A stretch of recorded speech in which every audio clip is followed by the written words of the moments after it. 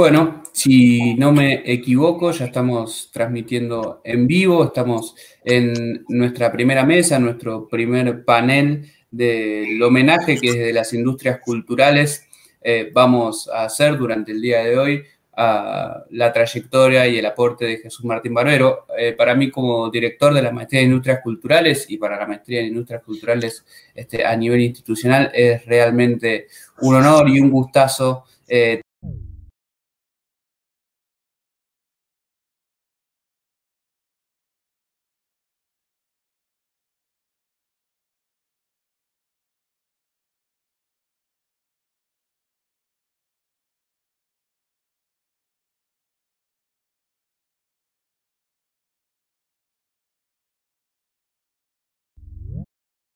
Y no hago más entonces, Guillermo, que cederte la palabra como moderador, administrador este, de este espacio. Muchas gracias. Buenos días a todos, a todas. También para mí es un, gusto estar acá, eh, junto con eh, la Universidad eh, Nacional de Avellaneda, el, Departamento de este, de Humanidades y Ciencias Sociales, eh, Rodolfo Maui, que, con quien digamos, tuvimos la iniciativa de hacer esta celebración. En estos días se están cumpliendo 100 eh, días del, fallecimiento de, Jesús Martín Barbero eh, y nos pareció este, una oportunidad para recordarlo, para ponerlo en debate. Este, para los que venimos del campo de las industrias culturales, Jesús Martín Barbero fue siempre un desafío. fue alguien que nos cuestionó eh, que cuestionó el, propio concepto de, industria cultural desde la perspectiva de, Adorno y Horkheimer, eh, pero que nos eh, obligó a, repensar un montón de, cuestiones este, vinculadas a la relación, digamos, entre la producción y el consumo de la cultura. Y, por eso es que creo que, que, su aporte fue decisivo eh, obviamente no solo para el campo de las ciencias de la comunicación en toda América Latina, sino que también fue eh, decisivo para eh, la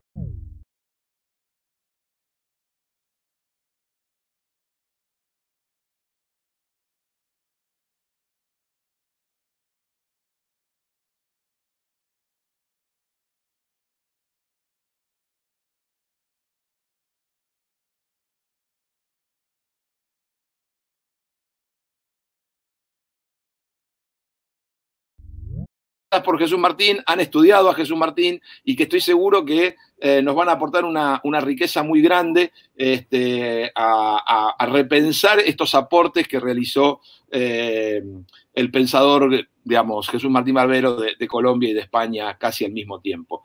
Eh, me toca presentarlos. en primer lugar, hoy va a hablar Pablo Alabarces. Pablo es este, profesor titular en la Universidad de Buenos Aires, de la Cátedra de, Cultura Popular y Cultura Masiva, este, es investigador superior del CONICET, doctor en Sociología por la Universidad de Brighton, y ha tenido y tiene un montón de, publicaciones vinculadas a este, em, la cultura popular, eh, especialmente en el área del deporte, de la música, pero podemos decir, y sobre todo me interesa destacar esto, que es una de las personas que en Argentina eh, más ha pensado el tema de eh, la cultura popular y la industria cultural. Y en ese sentido nos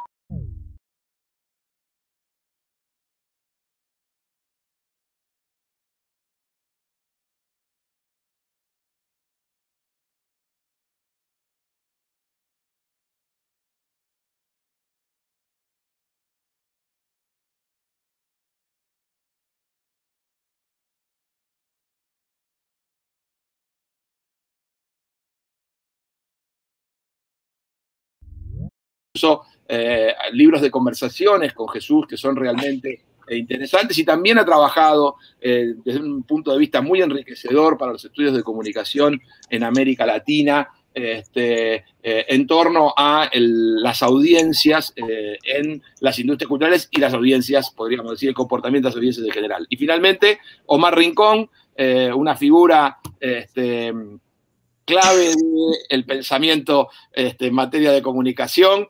Eh, discípulo, podemos decir así, de Jesús Martín Barbero directo, amigo, este, colega de Jesús Martín, este, solía visitarlo eh, casi semanalmente en su casa allá en, Bogotá, en ese, en ese despacho tan lindo que tenía Jesús y que nos invitaba a, conversar con esa vista de la Universidad de los Andes, de, todo Bogotá, ahí en, la cima, en la, carrera 1, si no me equivoco. Este, y bueno, y creo que que Omar, digamos, eh, no solo es un, investigador eh, de, los fenómenos de la cultura popular, sino que también nos va a dar una mirada más humana de Jesús, que también es sumamente importante e enriquecedora.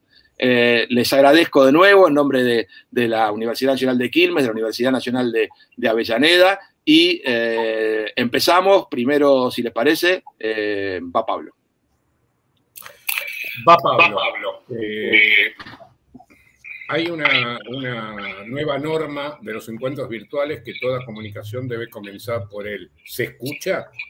Eh, bien, entonces, si se escucha, ahí vamos. Eh, también es una, norma de todos este tipo de encuentros agradecer, pero yo quiero agradecer muchísimo a, tanto a los organizadores, digo, a la feliz idea de, de Guillermo y de la Maestría en Industrias Culturales de organizar el evento, pero además a la felicísima idea de, haberme convidado a él, porque eso me permite tener este segundo agradecimiento que es eh, poder estar, eh, poder ver además a, a dos queridos colegas y amigos como Nilda, con la que hace muchísimo no nos veíamos, este, y, con Omar, con el que también hace muchísimo no nos veíamos, pero bueno, nada, eh, creo que todos ustedes comparten la idea de que sería mucho mejor estar tomando una cerveza aquí, allá o en todas partes, digo, sea en Quilmes, en Bogotá o en Porto Alegre o donde nos encuentre la vida. Pero bueno, si no hay más remedio, lo, lo, lo haremos a través de esto.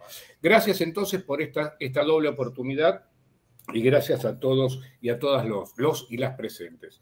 Eh, hay algo en lo que la, presentación que hacía eh, Guillermo, eh, lo, que puedo, puedo abundar, a ver, me dediqué a las cosas que me dedico, entre otras cosas, bajo la sombra de Jesús Martín Barbero.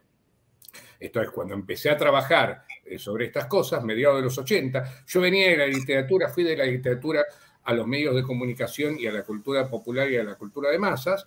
Y, en ese tránsito me encuentro con mis maestros locales, básicamente Aníbal Ford, Jorge Rivera y Eduardo Romano, eh, y estoy hablando de exactamente el mismo momento en el cual Jesús Martín estaba publicando de los medios de las mediaciones y del que con, con Aníbal Ford justamente poco antes habíamos leído un célebre artículo en Comunicación y Cultura número 10 del año 83, la revista que editaba el Toto Schmuckler en México, eh, en el cual Memoria Cultural, Memoria Narrativa e Industria Cultural se llamaba el texto de Jesús, en el cual ya estaba condensado y anticipado las líneas directrices de, los medios de las mediaciones. Entonces, digo, eh, mi pasaje a los estudios sobre cultura de masas y cultura popular está eh, absolutamente padronizado por esa lectura inicial de Jesús Martín, al que además, gracias a el éxito de ese libro y a que eso lo convirtiera en una suerte de profesor itinerante en toda América Latina, eh, conocí muy rápidamente, nuevamente merced a la, mediación de, Aníbal Ford, que, se hizo muy amigo de Jesús y que entonces me permitió conocer esa faceta que, eh, como amenazó Guillermo, Omar va a explorar con más detenimiento, digamos. Además de eh, un gran pensador, además de un tipo original, un, un descubridor y un fundador, Jesús tenía una característica muy peculiar, era un tipazo, para decirlo en términos argentinos. Un tipazo, un tipo encantador, un gran conversador, un tipo generoso, un tipo cariñoso, con el que tuve una relación mucho más escasa de lo que hubiera querido, eh, y que sin embargo, después de muchos años sin vernos, nos vimos en 2012 en Cali, en un homenaje que se le hacía en una cátedra a Jesús Martín Barbero, y que me trató como si me hubiera visto hace apenas un mes, ¿no? Y bueno, e, esa, esa calidez y esa, eh, insisto, esa característica de, tipo maravilloso, eh, también lo vuelve muy, muy inolvidable y muy potente. Guillermo insistió en que, claro, esto es la maestría de industrias culturales, que pusiera el eje en eh, la, de qué manera Jesús ayudó, de qué manera Jesús incidió en el trabajo de las industrias culturales y no cabe duda que la intervención de Jesús en los años 80 en ese sentido fue decisiva y que la repercusión de ese trabajo habilitó que, que, ese tránsito, que eh, esa idea de volver a pensar la cultura de masas de otra manera se volviera hegemónico en los años 90. ¿no? Entonces creo que los hallazgos de Jesús, las eh, apuestas de Jesús de fines de los 80 se vuelven hegemónicas en el campo latinoamericano en, los 90. Quiero revisar un poquitito esa intervención con poco detalle, tampoco me voy a extender demasiado. Eh, por un lado, porque me gusta inscribirle una, una genealogía más amplia, que es la de los estudios sobre cultura popular en América Latina, y porque además tiene que ver con lo que acabo de trabajar, digamos, ¿no? O sea, eh, esto fue, eh, lamento mucho que, eh, digamos, publiqué mi, libro nuevo, Postpopulares, a comienzos de año, se lo envié a Jesús y doy por sentado que no pudo leerlo. me hubiera encantado que lo leyera, porque es un libro que dialoga de una manera crucial con la obra de él, con la obra de él y con la de Néstor García Canclini, es decir, los dos grandes, son, los grandes nombres de esa literatura y esa biblioteca de fines de los 80, comienzos de los 90. ¿no? Entonces, eh, digo, revisar la obra de Jesús permite revisar esa genealogía más amplia de los estudios sobre cultura popular en América Latina. Pero también revisarla permite ver los, los nudos en los cuales inclusive tenemos que pensar hasta en contra de Jesús Martín Barbero. Y eso habla de la potencia de su obra. Es una obra que a uno le permite pensar con él y también le permite pensar contra él. Digo, eh, a ver, el gran hallazgo, ese, ese desplazamiento eh, que propone Jesús, es la idea de que eh, las relaciones entre lo popular y lo masivo tienen que cambiar de sentido. Entonces, dejar de pensar que la cultura de masas es una degradación del mundo culto ofrecida al mundo popular para pasar a pensar que la cultura de masas es, por el contrario, algo que nace en relación estrecha con el mundo popular. No hay cultura de masas sin mundo popular. ¿La habría sin cultura culta? No lo sé, pero Jesús dice, la cultura de masas nace en relación estrecha con el mundo popular, esto es, se construye sobre las matrices, esa palabra que tanto le gustaba a él, las matrices de la cultura popular, y de ahí viene esa famosa ese famoso triángulo, ¿no es cierto?, de lo popular a lo masivo, de lo masivo a lo popular, los usos populares de lo masivo. Eh, mm, a ver, Jesús en esto no es radicalmente original. La originalidad consiste en eh, tomar varios elementos que estaban dispersos y condensarlos en un único aparato teórico. Eh, ya en el 1957, Richard Hogarth había dicho, el problema entre la cultura de, el problema de la cultura de masas no es la cultura culta, sino la cultura popular. Esto es, no es que la cultura de masas degrada lo culto, sino que está jodiendo lo popular. Lo dice Hogarth en 1957, ¿no? Y esto además, como he señalado varias veces, puesto por escrito varias veces, también había aparecido como forma de intuición muy potente en la obra de, nuevamente, los populistas argentinos, ¿no? Aníbal Ford, Eduardo Romano, Jorge Rivera, con los problemas de la falta de aparatos teóricos adecuados, cierta resistencia a hacer teoría, con eso estaban proponiendo, pero la intuición estaba ahí. ¿no? Jesús la retoma, la amplía, la vuelve más sólida y la devuelve como afirmación teórica respaldada en empiria. Lo masivo nace en lo popular y en consecuencia tenemos que volver a releer lo masivo volver a releer la cultura de masas en un sentido distinto del que había sido dominante. Esto es, ya no manipulación, alienación, embrutecimiento, etcétera, sino como el espacio, por un lado, que retomaba las matrices de lo popular y además un espacio de, incluso, un, espacio de incorporación a la modernización. ¿no? Entonces, el modo como las clases populares se vean incorporados a las sociedades modernas nacionales, inclusive pongo el acento en lo de nacionales, ¿no? porque esto era una, una afirmación muy, muy interesante y muy potente de Jesús. La idea de que también se inventaba la nación en ese movimiento, para lo cual, bueno, él usa varios ejemplos, el colombiano, la radio en Colombia, el cine en México, el radioteatro en la Argentina, la música negra en Brasil, ¿no? Esto es, elementos de la cultura de masas que habían contribuido a esa incorporación de las clases populares a las sociedades modernas. Eh, dije Colombia, dije Argentina, dije México, dije Brasil, y aquí un apunte. Es que Jesús pensaba en clave latinoamericana. nunca pensó en clave puramente local. Esto era algo fantástico. Mi última, la última vez que lo vi en el 2002, en ese homenaje que se le hacía, retó a todo el auditorio porque nadie conocía a Florestán Fernández, por ejemplo. Lo más probable es que acabo de afirmar Florestán Fernández y apenas conozcamos a Florestán Fernández los que estamos en esta pantalla. Pero Florestán Fernández fue un grandísimo sociólogo brasileño, grandísimo, enorme y además un tipo muy clave en la invención del, eh, del PT brasileño, por ejemplo. Es una figura eh, crucial en los estudios sociales latinoamericanos. Y a Barbero lo enojaba muchísimo que un auditorio de académicos no conociera a Florestán Fernández. Le parecía una falta gravísima. ¿Por qué? Porque el pensamiento de Jesús siempre era profundamente latinoamericano. Digo entonces que Jesús reúne, sintetiza de modo perfecto estas cosas que estaban, habían aparecido como intuiciones, que estaban repartidas en distintos lugares y las condensa en ese único aparato y en esa nueva biblioteca que va a organizar las lecturas sobre la cultura popular y la cultura de masas en los años siguientes. Digo, la biblioteca de, en la que estaban Hogarth, en la que estaban los populistas argentinos, pero también aparecían, bueno, Stuart Hall, eh, Raymond Williams, Edward Thompson, Bourdieu, Pastin, Ginsburg, desertó, ¿no? Sobre esa, esa biblioteca, Jesús construía este famoso triángulo de las relaciones entre lo popular y lo masivo, el concepto de mediación, largamente discutido, pero que fundamentalmente ponía, insisto, desplazaba el acento de los fenómenos de manipulación, adoctrinamiento, embrutecimiento, eh, etcétera, etcétera, lo ponía sobre la relación. Esto es, había que volver a pensar las relaciones entre lo popular y, lo masivo.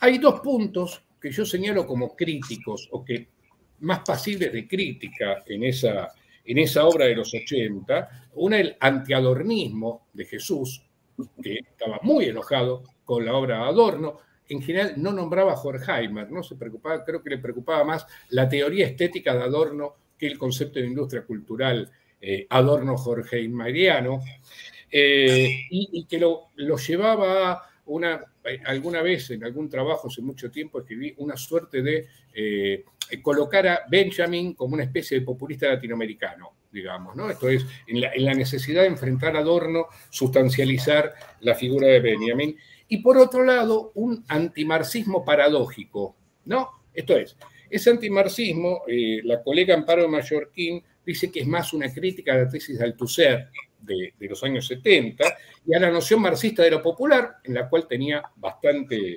bastante razón, eh, pero eh, que fue leído, digo, digo antimarxismo paradójico porque estaba organizado sobre la obra de Gramsci, Thompson y Williams, es decir, tres grandes marxistas, ¿no es cierto? Esto es lo que lo volvía paradójico y que creo, y esto no fue en ninguna medida responsabilidad de, Jesús, sino más bien el extendido consenso antimarxista que comenzó a dominar el campo en los años 90. ¿no? Entonces leyó, ese, leyó mal y apurado ese fragmento de Jesús Martín Barbero y lo volvió una suerte de sentido común académico. Creo que, eh, insisto, no estaba en los, eh, en los presupuestos de Martín Barbero este desvío. Lo cierto es que el desplazamiento entonces de eh, la, cultura de masas como alienadora, etcétera, etcétera, a pensar las relaciones entre la cultura popular y la cultura de masas, habilitó volver a pensar las industrias culturales no como demoníacas, sino como espacios en los cuales se podía leer lo popular. Y esto implicó una nueva atención a los textos de la vieja cultura de masas, hasta ese momento demonizada como insisto, alienadora y además organizada por el imperialismo, para leer los modos en que lo popular aparecía de alguna manera tramado, entrelazado, etcétera, etcétera. Es decir, un cambio de punto de vista. Me quedo con esto porque la metáfora del mal de ojo que patenta Jesús eh, en esos años, la idea de que los intelectuales eh, sufríamos una miopía elitista del productor letrado hacia los productos populares, eh, esa metáfora es una metáfora muy potente, muy organizadora, la idea de cambiar la mirada. Ahora bien, ¿qué ocurre en los años 90?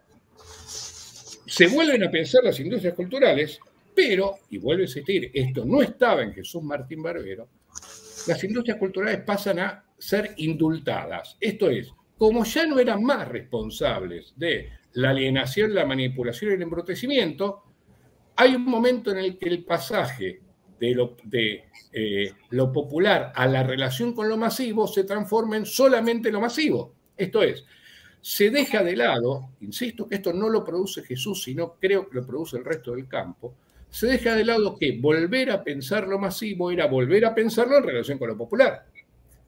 Y entonces, al pensar lo masivo autonomizado de esta relación, ahí aquí aparece este, este tinte neoliberal que volvía, pasó a pensar la comunicación y la cultura como un espacio de mercado en el cual los actores participaban libremente. Esto se ve de manera eh, más radical y más extrema en la obra de John Fiske en Estados Unidos, por ejemplo, ¿no es cierto? Donde todo era rebeldía semiótica y todo era democracia semiótica, un exceso que Jesús no cometió y que yo tampoco pienso cometer. Creo que hay tengo dos recuerdos de esos años uno es el de Heriberto Muraro, el argentino, uno de los inventores de la economía política de la comunicación, que a mediados de los 90, en una declaración periodística, dice, démosle, démosle tiempo a Alejandro Romay. Alejandro Romay había sido uno de los, eh, fue uno de los históricos eh, zares de los medios de la televisión en la Argentina, eh, y que en ese momento era, había sido el Primero que había vuelto a tener una licencia privada de televisión en el año 89, si no recuerdo mal, eh, y la versión de Muraro era, la industria cultural puede crear una cultura más democrática y con, más, mejor representación popular. ¿no? Entonces, había virado la apuesta política. Muraro venía, insisto, de la economía política de la comunicación más crítica, era uno de los inventores en, el, en la Argentina, y pasaba una suerte de eh, ¿cómo decirlo? Esperanza, eh, para mi gusto ilusoria, en la capacidad de esas industrias culturales de producir representaciones más democráticas. En su versión más pesimista, el maestro Aníbal Ford, que frente al panorama neoliberal decía, todo lo que estudiamos en los, en los 70 solo sirvió para que Palito Ortega fuera gobernador de Tucumán.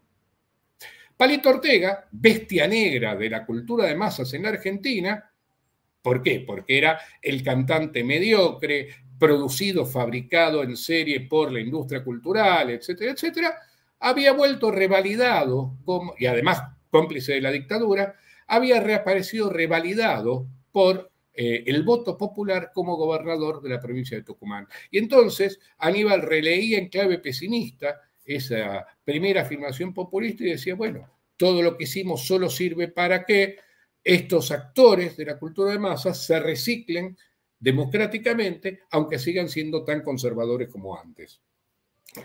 Yo creo que Jesús lee con alguna demora esos desplazamientos. ¿no? Creo que esa relectura crítica aparece a fines de los 90 y con mucha fuerza en el, en el nuevo siglo, ¿no? que los últimos textos de Jesús marcan un intento de, eh, digámoslo así, repolitizar un debate despolitizado. ¿Por qué? Porque lo que era el núcleo de los planteos de los años 80 era la cuestión democrática. Esto es, volver a pensar lo popular en relación con lo masivo tenía el sentido simplemente de pensar sociedades latinoamericanas más democráticas. Y que entonces ese redesplazamiento que tendía a sustancializar las industrias culturales en una relación libre y de mercado con consumidores eh, de plena potencia y autonomía, eh, cancelaba esa pulsión democrática, cancelaba la, pregunta central de la obra de Jesús, que, insisto, tenía que ver con lo democrático. Ahí reaparece esa metáfora que citaba antes, la idea de ver con los otros.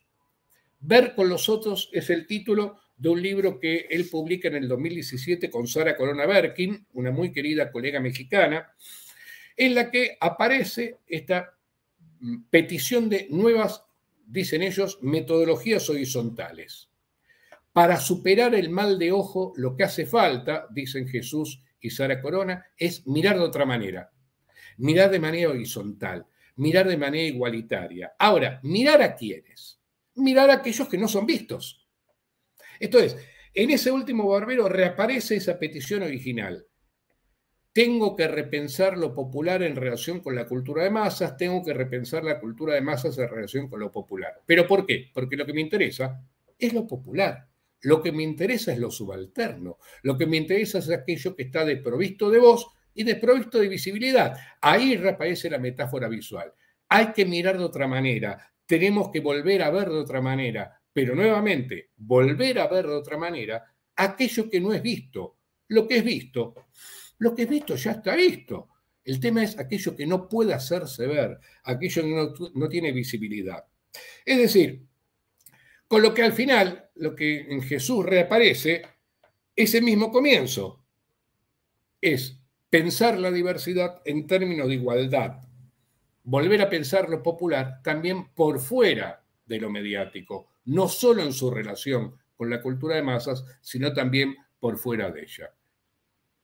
Hablé mucho, ¿no es cierto? Aquí terminé. Gracias.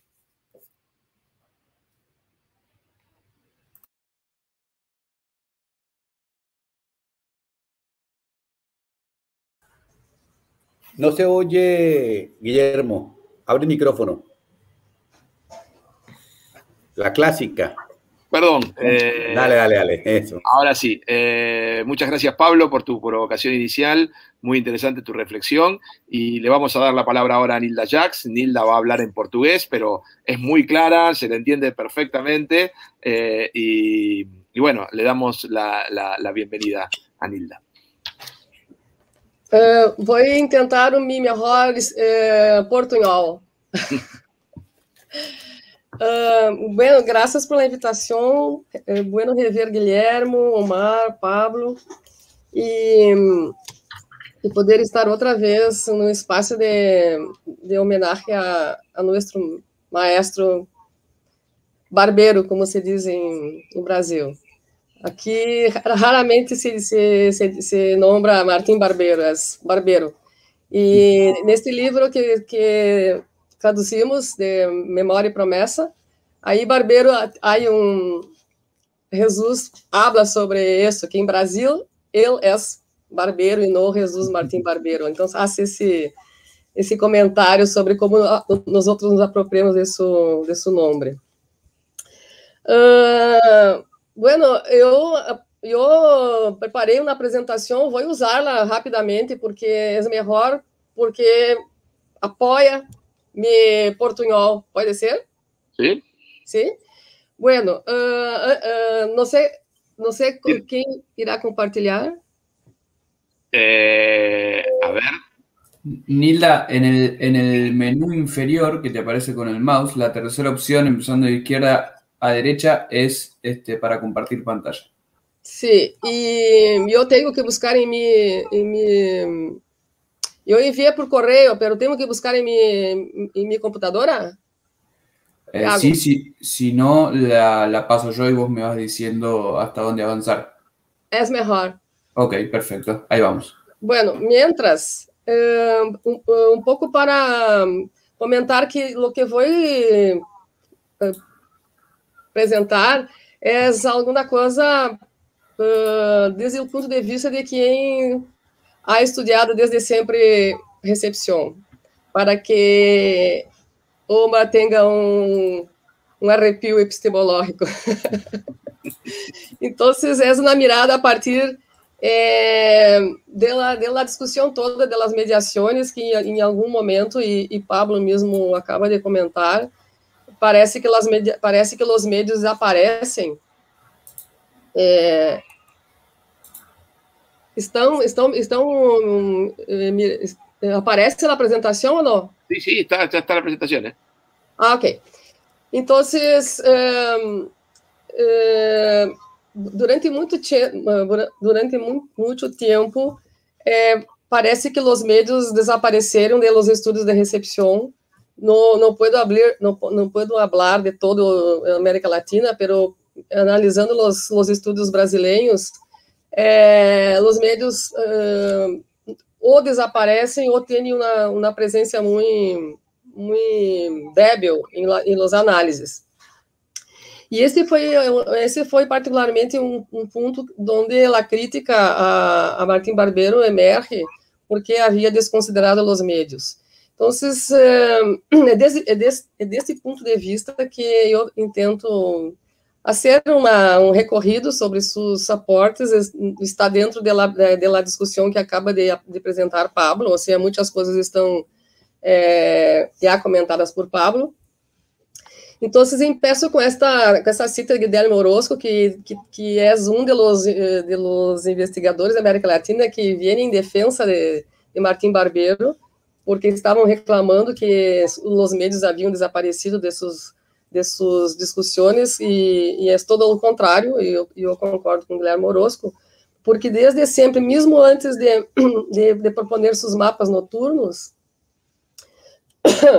eh, os médios estavam planteados em sua discussão quando quando há aportes de, de, de, de, de los modelos eh, os médios estão mais ou menos presentes eh, e, e, e, com o desenvolvimento de, de, desses, desses modelos, eh, os médios ganham, ganham cada vez mais presença, não somente por las críticas, porque, pero também porque eh, houve cambios eh, em la relação, em la configuração de los médios, a questão de, la, de los conglomerados, ou seja, Martim Barbeiro acompanha o desenvolvimento também da, da indústria cultural, ao, ao passo que vai eh, cambiando seu modelo para enfrentar de maneira mais precisa, diria, diria eu, a questão dos meios. Então, eh, Pablo já comentou, ou seja, a, a partir da da imagem de mediacentrismo combateu eh, esta centralidade das análises eh, somente los médios, e com isso houve um, um debate, um confronto com, com o funcionalismo e o marxismo, isso está muito, muito claro em, em los médios. Pode passar o, próximo slide. Uh, Deixa-me cambiar isso daqui, porque não, não... Aqui. Então, os meios de comunicação sempre tiveram não, não, exatamente, não sempre, mas a partir de, de, de publicação, de, a partir do arrepio epistemológico, é, passa a, a, ter um papel de agente cultural, pero sempre sem desconsiderar seu caráter é, comercial e estatal. Ou seja, Martim Barbeiro é, nunca tomou, nunca isso na crítica é, unidirecional aos médios, ou seja, em, em, em, seus aportes sempre ia, ia defendendo, defendendo, defendendo um aspecto, hasta que não havia mais como defender, ou seja, esse, esse ruego que há, que há para contemplar vários aspectos, quando não, é, não era mais possível defender, por exemplo, a questão da, da participação das audiências ou, ou, ou dessa apropriação das audiências, cambiava para o outro lado, ou seja, sua, sua análise sempre contemplava as, as, as, as duas perspectivas. E, e às vezes, mirava junto com meus, meus, meus alunos, por exemplo, se quedavam um pouco perdidos, que a defesa ia até um ponto e parece que regressava. Seja, esse, essa dinâmica, esse, esse movimento que Martim Barbeiro, isso em, em todos os aspectos que, que, que abordou, que, que tratou, em, em, em eh, para analisar os médios, quedou muito claro, que teria sempre um, uma, uma dialética em sua análise, a, contemplando os usos e, e também é, pensando las, nas determinações ou configurações do, do mundo econômico. Pode passar mais algum? Então, nesse, nessa dinâmica, os médios adquiriam uma maior, maior ou menor centralidade de acordo com estas é, interpelações que hacían é, a partir das práticas é, sociais, das práticas das audiências. Ou seja, eu estou sempre trabalhando nesta dimensão dos estudos de recepção. Então, por exemplo, este, esta, esta maneira de analisar os médios, eh, contemplando seus benefícios para a audiência ou seus malefícios para a audiência ou para a cultura popular, a cultura em geral, tanto Orozco, entre outros autores como Rossana, é, enfatizam esta, esse equilíbrio de, de, de suas análises e, e, e, de parte de Rossana é, que conseguia uh, pensar entre esses dois aspectos. E para ela, ele, ele trabalha como uma socioantropologia das tecnologias de, de la comunicação, ou seja, esta essa dinâmica que estabelece entre eh, esses dois, dois polos da atuação de los medios era fundamental para seus aportes, especialmente para os estudos de recepção. Perdão. Orozco, uh, em um de, de seus textos, uh, uh, analisando como, como Martim Barbeiro trabalhava com os meios de comunicação, dimensionou dois, dois âmbitos a dimensão constitutiva, ou seja, como os meios constituem, são constituídos pela sociedade, e a questão da substitutiva, ou seja, os meios é, ocupando o papel e a função de muitos é, agentes sociais que, no, que acabaram uh, apartando-se do mundo social, ou seja, um papel cultural, papel político e muitas vezes papel, um papel de defesa da cidadania, ou seja, através dos meios de comunicação, é, a, a, voz de, la, de, de segmentos da, da população poderia adquirir é, relevância. Então, duas, duas dimensões que, que Orozco identifica nesses um, aportes de Martim Barbeiro, e, e também um, uma, dessas, uma dessas maneiras de substituir é, elementos é, agentes da vida social, um deles é a questão da educação. É, a, escola per, perdendo espaço porque não se não se renova. Então, Martin Barbeiro identifica esta, esses saberes mosaicos dispersos e fragmentados é, que são ocupados pelos médios em, é, em interrelação com a escola, o cotidiano, o consumo midiático, especialmente nas camadas populares. Então, essa, essa função substitutiva que acaba é, entrando na esfera da educação. É esta, esse, esse papel, essa, esse desserviço, se pode dizer assim, que a investigação de recepção acabou sendo em las apropriações eh, que isso de, de Martin Barbeiro, ou seja, esta euforia de, de, de, investigadores de quase toda a América Latina, pero eu hablo particularmente de Brasil, essa, essa euforia de descobrir é, o receptor, lá a audiência, é, el outro, acabou minimizando o papel de los medios. Então, isso, isso é um pouco para retomar o que, o que eu, eu havia é, empezado, e e em, defesa de, de Martin Barbeiro, se pode mirar a segunda parte de Los Medios e a terceira parte, onde aí está formatada uma, uma, uma análise muito densa e muito profunda de Los Medios, um pouco para dizer, mira, Martin Barbeiro nunca abandonou Los Medios. O que aconteceu é que nós outros que estávamos estudando recepção, encantados com a, com a novidade, encantados com o popular, com o outro, com esta com este câmbio que, que essa época Martim Barbeiro proporcionou, é, a, a, culpa, em verdade, foi da apropriação de, desses investigadores e que eu penso que, a lo melhor, é, é, eu puedo ter caído também. Né? Hey, thanks for using our free Jitsi meetings. Stick around for 15 seconds. I'll show you how you can embed and brand Jitsi meetings on your own website. So I'm going to go to jas.8x8.vc. I'm going to click on login. And here at the bottom, we can see a very quick example. I can just go ahead and click copy, go to my editor, paste that in there, save that, and serve it up. And when I look at it in my local browser, I get the Jitsi experience on my own app. Now I can customize this, I can change the colors, the branding, the look and feel, and I can manipulate the entire thing using the Jitsi SDK. It also works on Android and on iOS. Thanks for watching.